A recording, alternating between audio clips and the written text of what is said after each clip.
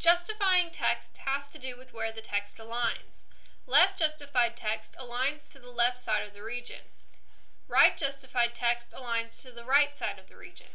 Center justified text aligns to an imaginary line drawn through the middle of the region. Left justification is the most commonly used form of alignment, and it is recommended for the bulk of your text.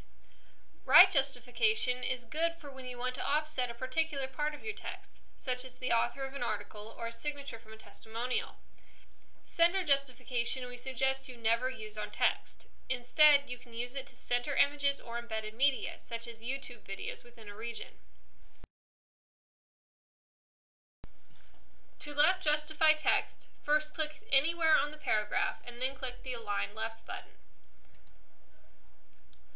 To right justify text, click on the paragraph and click the Align Right button.